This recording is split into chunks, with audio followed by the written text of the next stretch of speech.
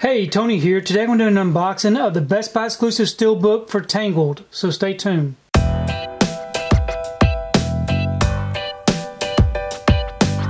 So today I picked up my copy of Tangled. This is a Best Buy exclusive steelbook that features the 4K Ultra HD, Blu-ray, and digital code.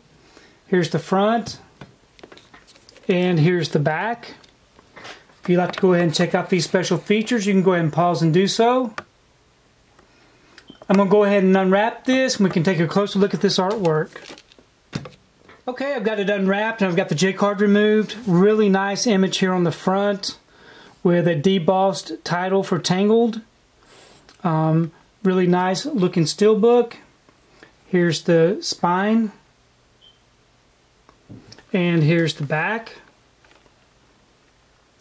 So it's a really nice continuation, front and back that go together. I really like it when they do that. And then when we open it up, we do have two discs. We have the 4K disc here with some really nice artwork. And we have the Blu-ray disc with some different artwork. And some really nice inner artwork here. So I really like the way that this one looks. So overall, I'm really pleased with this steel book. I have gone ahead and placed it in this um, protective bag. This will help keep it from getting scuffed up on the shelf and some fingerprints. Um, I do have a link below if you'd like to check that out. But overall, a very nice looking steelbook. Um, I did see quite a few copies at my Best Buy, so I'm sure that you should still be able to find this.